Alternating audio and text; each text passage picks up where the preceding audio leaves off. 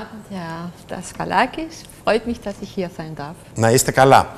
Δίπλα στην κυρία Μπούρτσικ είναι η, το μέλος του Επιμορφωτικού Συλλόγου Γυναικών της Χερσονήσου Βριτόμαρτις, η κυρία Σοφία Νικολή. Να πούμε ότι η κυρία Μπούρτσικ είναι από τη Γερμανία.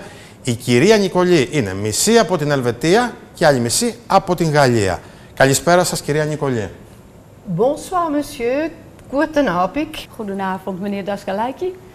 Het is hartstikke leuk om hier te zijn vanavond. Είστε Γερμανίδα και βρεθήκατε στην Κρήτη πότε; Στο 90 92 ήρθα για διακοπές και ήμουνα σε ένα ξενοδοχείο στην Χερσόνησο και δεν φάγαμε τόσο ωραία με την ξαδέλφη μου και μας είπαν να πάτε κουτουλουφάρι. Εκεί γνώρισα τον άντρα μου. Ο οποίος σύζυγός σας ε, είχε μια ταβέρνα από την Είχε μια ταβέρα στο κουτουλουφάρι. Εσείς ναι. πήγατε λοιπόν ε, για φαγητό. Για φαγητό. Και αυτό ήταν η πρώτη γνωριμία, η πρώτη επαφή που ουσιαστικά, κυρία Μπούρτζικ, σας άλλαξε και ολόκληρη την ζωή σας. Θέλετε να μας πείτε πώς παίρνετε την απόφαση από μια χώρα όπως είναι η Γερμανία, που η ποιότητα ζωής είναι πολύ καλύτερη από αυτήν της Ελλάδας, τουλάχιστον όσον αφορά τις δομές ενός κράτους. Ε, μισθολογικά. Και βεβαίως μια οικογένεια που της λέτε εγώ πήγα διακοπές στην Κρήτη και τώρα δεν θα γυρίσω πίσω, θα μείνω εκεί. Ναι. Ήτανε, δεν ήταν πάρα πολύ δύσκολο, γιατί από την πρώτη στιγμή μ' άρεσε πάρα πολύ η Κρήτη. Μόνο δεν ήμουν πολύ μικρή να αφήνω όλα. Ε, τα έκανα λίγο ασφαλικά, ασφαλτικά. Ε, πήρα ε, άδεια από την εταιρεία που δούλεψα.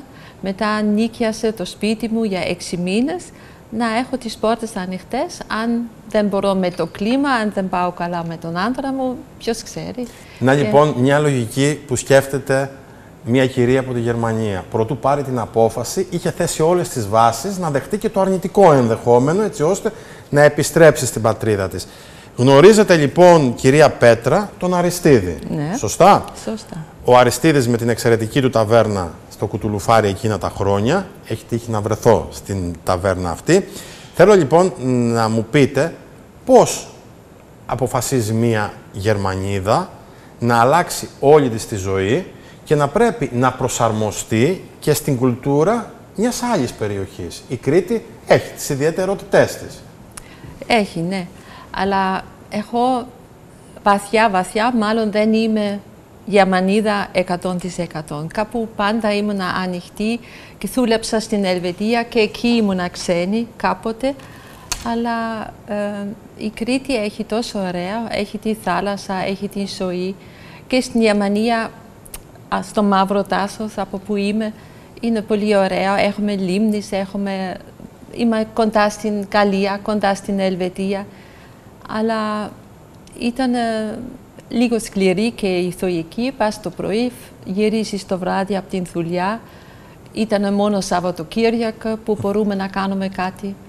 Και εδώ σήμερα και αύριο αλλάξεις και αυτά που έρχεται στο γνώμη, στην γνώμη μπορείς να κάνεις, κάπως έτσι πάει. Στην Κρήτη νιώσατε ποτέ ξένοι, νιώσατε ότι πρέπει να δώσω μάχη για να προσαρμοστώ στην κοινωνία της Κρήτης; Όχι. Η- Στην αρχή ήταν λίγο δύσκολο γιατί δεν μίλουσα την γλώσσα, δεν κατάλαβα, αλλά δεν, δεν νιώθα ξένη ποτέ. ποτέ. Ξέρω ότι όταν σας ρωτάνε αν θα επιστρέφατε ποτέ στη Γερμανία, η απάντηση είναι κατηγορηματικά όχι. Για ποιο λόγο; Γιατί εδώ έχω τώρα την οικογένεια μου, στην Γερμανία έχω ακόμα τα αδέλφια μου, αλλά η οικογένεια μου είναι εδώ και μ' αρέσει εδώ και Είναι νιώθω η πολύ δεύτερη καλά εδώ. πατρίδα σας. Δεύτερη πατρίδα, ναι. Όταν λέτε στην οικογένειά σας ότι εγώ ερωτεύτηκα ένα κριτικό και πάω να ζήσω μαζί του, πώς αντιδρούν; Γιατί εντάξει, γνωρίζω ότι η Γερμανία έχετε πολύ ισχυρό το δεσμό της οικογένειας, ακόμα και σήμερα. Ναι. Ε, ήταν λίγο δύσκολο, γιατί δεν ήμουνα 20 χρονών, ήμουνα μεγάλη και λένε στην δική σου ηλικία πας στην Κρήτη τώρα που αλλάξεις όλα και μ, είχες πολύ καλή δουλειά με τα λεφτά όλα. Αλλά δεν μετράει όλα τα λεφτά και αυτά. Εκεί που νιώθεις καλά και μπορείς να ζήσεις, πιστεύω εκεί είναι η ζωή σου και εκεί πρέπει να πας. Μάλιστα. Έρχομαι σε εσάς, κυρία Σόλτεν. Εσείς είστε από την Ολλανδία. Από ποια πόλη της Ολλανδίας είστε; Είναι μεγάλη ιστορία αυτή. Ε, επειδή ο μπαμπάς μου ήταν στο ΝΑΤΟ, γεννήθηκα εγώ στη Γερμανία. Έμενε εκεί πολλά χρόνια. Καταρχήν να σας διακόψω και αυτό που μου κάνει εντύπωση είναι ότι όλες οι κυρίες μιλάτε τα ελληνικά με την κριτική ντοπιολαλιά. Δηλαδή πατάτε το κι. Και είναι πάρα πολύ ωραίο αυτό. Ε, το λέω όμορφα, κύριε Σόλ, δεν το λέω αρνητικά. Ευχαριστώ. Λοιπόν, ε, σας ακούμε. Μετά βρέθηκα και εγώ στην Ολλανδία, στο Den Helder, που είναι κοντά στο Alkmaar. Μμμ. Ε, η οικογένεια μου είναι από εκεί κοντά. Ε, και έμενα εκεί μόνο Στο αυτό Alkmaar με τη φημισμένη ομάδα ποδοσφαίρου. Έχετε, Ασέτ. ε, έχετε μια ποδοσφαιρική έτσι, Ναι. παράδοση. Ε, αποφασίζετε λοιπόν, όπως εκατομμύρια τουρίστες, να επιλέξετε τη δεκαετία του 90, του 94 νομίζω. Τα όπως μου- 95. 95. εγώ. Να επιλέξετε την Κρήτη και τη Χερσόνησο για τις διακοπές. Πείτε μας λοιπόν πώς ξεκινάει η δική σας ιστορία. Όλος ο κόσμος έλεγε ότι πρέπει να πάω στη Χερσόνησο, αλλά να μείνω στην Κουτουλουφάρη. Δημοφιλής προορισμός για τους Ναι, Ολλανδούς η πάρα Χερσόνησος. πολύ, ναι. Μμμ. Και να πάω να μείνω στο Κουτουλουφάρι. ναι. Είναι πάνω σε ένα βουνό, λέγανε. Και λέω, τι θα κάνω εγώ σε ένα βουνό. 25 χρονών ήμουνα. Πάμε με τη φιλενάδα μου και ήρθαμε διακοπές. Την τρίτη μέρα βρέθηκα στο μαγαζί του άντρα μου, στην ταβέρνα του και ερωτεύτηκα αμέσως. Ήταν έρωτας με την πρώτη ματιά; Ναι. Ε, κάτι θα έκανε και ο κριτικός. Δηλαδή δε- δεν μπορεί να εμφανίσει. Δεν και μόνο. χρειαζόταν τίποτα. Δεν χρειαζόταν τίποτα. Παίρνετε πολύ γρήγορα, κυρία Σόλτεν, την απόφαση ε, να παντρευτείτε. Δηλαδή, ε, ήσασταν έτοιμοι κατευθείαν να αφήσετε τα πάντα πίσω και να έρθετε στην Κρήτη ή χρειάστηκε ένα χρονικό διάστημα, Μόνο έξι, μήνε, έξι μήνες. έξι μήνες. Ναι.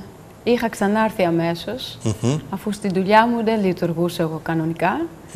Ε, είπε ο αφεντικός μου, τώρα λέω, θα με διώξει από την δουλειά. Όχι, μου λέει, θα ξαναπάς στην Ελλάδα να δεις το Μανώλη σου και μετά θα γυρίσεις στη δουλειά και θα δουλεύουμε κανονικά. Ε, ένα από τα προ- Το μόνο πρόβλημα θεωρώ είναι όταν μεγαλώνεις με, διαφορε- με διαφορετική χώρα γονείς, είναι ότι ακούω τη μάνα μου μιλάει Ολλανδικά, τον πατέρα μου ελληνικά και κάμια φορά προσπαθώ να πω κάτι στη μάνα μου και της λέω λίγο ελληνικά, λίγο Ολλανδικά.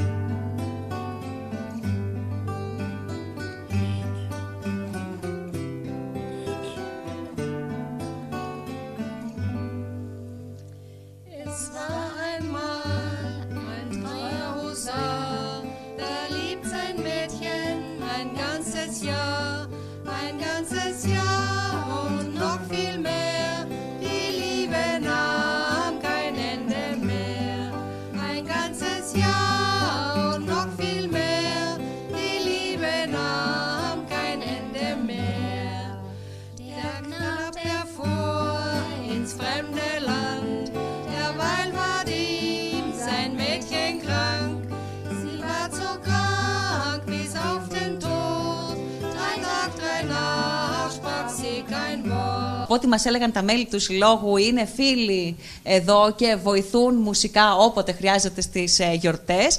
Και να σας συστήσω και τις τρεις ε, κυρίες που μας τραγούδησαν. Είναι η Όλγα, η Ίγκριτ και η Ούτε. Ε, είναι οι κυρίες οι οποίες ε, σήμερα αποφάσισαν να μας ε, δώσουν μια τελείως διαφορετική νότα στην γερμανική γλώσσα. Με τη γερμανική γλώσσα ξεκίνησαν. Η κυρία Ούτε είναι Γερμανίδα μάνο και σήμερα εδώ έχουμε ακούσει Έχουμε ακούσει ιστορίες πολλές και διαφορετικές γυναικών οι οποίες έχουν βρεθεί κάθε μία για άλλο λόγο στην Κρήτη. Για παράδειγμα, η κυρία Ούτε εδώ μας έλεγε ότι είναι παντρεμένη, αλλά θα σας πει τώρα τι γάμο έχει κάνει. Να κυρία ακούσουμε Ούτε, λοιπόν την καλησπέρα. ιστορία της κυρίας Ούτε. Έχετε παντρευτεί; Ναι, είμαι παντρεμένη με την Κρήτη. ναι, και εμ, έκανα πολλές φορές εδώ διακοπές και εγώ νομίζω αυτή η Κρήτη έχει όλα από όλο τον κόσμο, αλλά λίγο πιο μικρά. Και γι' αυτό ε, μετά 7 χρόνια πάλι διακοπές επέστρεψα στην Κρήτη και από 7 χρόνια μετά μένω εδώ τώρα. Πόσα, χρο- πόσα χρόνια βρίσκεστε στην Κρήτη συνολικά. Τώρα; 25 χρόνια. 25 χρόνια. Yeah, μένω εδώ, αλλά ε, η ελληνικά γλώσσα δεν είναι τόσο καλά. Κυρία Ούτε, Πολύ. μιλάτε εξαιρετικά τα Μόνο. ελληνικά. Μιλάτε εξαιρετικά τα ελληνικά. Είστε μια γλυκύτατη κυρία. Αγαπάμε την ε, Γερμανία. Εγώ θέλω να μου πείτε, αν τώρα σας, έλεγαν, σας έλεγε κάποιος να επιστρέψετε στη Γερμανία, θα την αφήνατε την Κρήτη; Δεν καταλαβαίνω όλα. Θα γυρνούσατε πίσω στη Γερμανία, αν υπήρχε... Για ποιο λόγο θα μπορούσατε να γυρίσετε πίσω στη Γερμανία ή, ή με κανέναν τρόπο; Ε, Οκ, ε, είχα ε, δουλειά πολύ ε, δύναμη καθ- ε, ναι, και μετά ε, εγώ στην Κρήτη νομίζω πιο συνα, ε, δυνατό, πιο ζωντανό ε, και πολύ ε, ελεύθερο ε, και με πολύ χαρά, χαρά και άνθρωποι και είναι πολύ ανοιχτοί και όλα αυτά